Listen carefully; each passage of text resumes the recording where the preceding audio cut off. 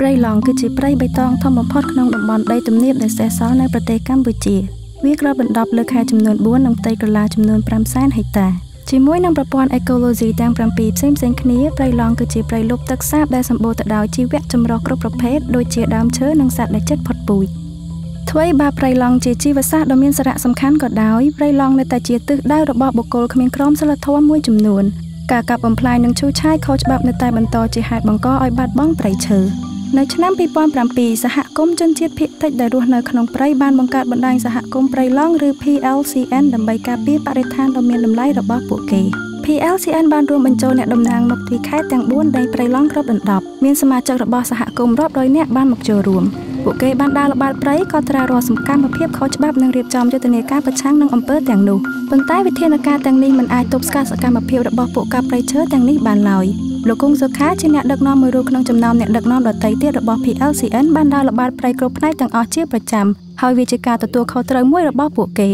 មិនយូរប៉ុន្មានពួកគេក៏បានរកឃើញផ្សោះតាំងថ្មីថ្មីពីបទល្មើសនៃការកាប់ព្រៃឈើខុសច្បាប់គឺយើងចូលជុលទេទៅផ្លូវខាងសាំងចុះអានោះឯងអូនេះទៅចែជួយចែចង់មើលគលួង គូយន្តលងគូយន្តនឹងថ្មីពួកអ្នកកាប់ព្រៃឈើបានចាក់ចេញយ៉ាងតក់ក្រហល់ពីព្រៃថងនេះគឺថងច្រកម៉ាស៊ីនដែលបត់ល្មើសដែលអាចឈើដែលមកលួចកាប់តើពួកគេធ្លាប់ចាប់បានអ្នកកាប់ព្រៃឈើដែរឬទេបើកំពុងដឹកមកដៃជួបកំពុងដឹកប៉ុនវាអាភាគច្រើនដែរវាអាចឯងច្រើនបានចូលតែអាចដឹកវាអត់ងាយបានជួនកាលវាអាចចូលទៅយើងយកគូយន្តមកដឹកយកបាត់របស់វាបាត់ទៅជួនកាលវាចេះទៅទេអត់ខ្លាចគូយន្តវាដាក់ឆ្ងាយមិនមិន លោកម៉ាន់សុខានជាអ្នកស្ម័គ្រចិត្តមួយរូបដល់ពេលបាត់បង់ព្រៃឈើនឹងប៉ះពាល់ខ្លាំងមែនតើគេថាការនៅមានព្រៃឈើគឺថាប្រជាជនតែងតែមករបើកវមកអីធម្មតាមានសัตว์មានអីណាដល់ពេលអត់បាត់បង់ព្រៃឈើទៅសัตว์ក៏អត់មានដែរវាមានដែរវាមិនអត់មានមិនមែនថាអត់មានសោះទេវាមានតែវាអត់មានដូចការពីនៅព្រៃច្រើនផលិតផលមួយក្នុងចំណោមផលិតផលទាំងអស់ដែលពួកគេអាចប្រមូលបានគឺជ័រ អ្នកល្បាតព្រៃបានបង្ហាញពីរបៀបនៃការយកជ័រឃើញទេដោះដោះជ័រ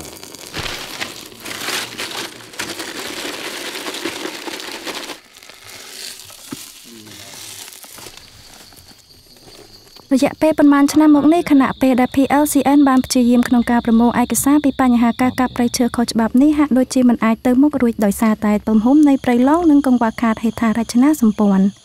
ក្នុងឆ្នាំ2014ការសហការដ៏ច្នៃប្រឌិតរវាងបណ្ដាញសហគមន៍កសាងសន្តិភាពសាកលវិទ្យាល័យ Copenhagen និងក្រុមបច្ចេកវិទ្យា Web Essential រួមជាមួយ PLCN បានរួមដៃបង្កើតកម្មវិធីទូរស័ព្ទទំនើបមួយ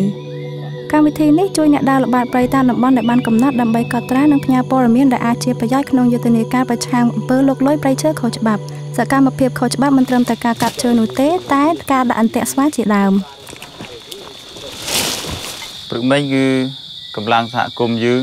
ធ្វើការចុះល្បាតយើងធ្វើដំណើរមកគឺបានជួបប្រទេសជាមួយបាត់ល្មើសស្វានៅកំពង់បាត់ល្មើសកាត់កាប់រយៈពេល10ថ្ងៃជាងហើយនៅតំបន់នេះក្រុមល្បាតយើងខ្ញុំបានឃើញបាត់ល្មើសនេះគឺជាបាត់ល្មើសស្វាបាត់ល្មើសកាប់ព្រៃយកស្វាហើយបង្គោលបង្គោលហែតាមនេះគឺជាបង្គោលដែលវាដាក់ពួកបាត់ល្មើសដាក់មងយកស្វា ណាដោយសារកម្លាំងយើងអត់បានមកទិនទេគឺយើងបានឃើញតែ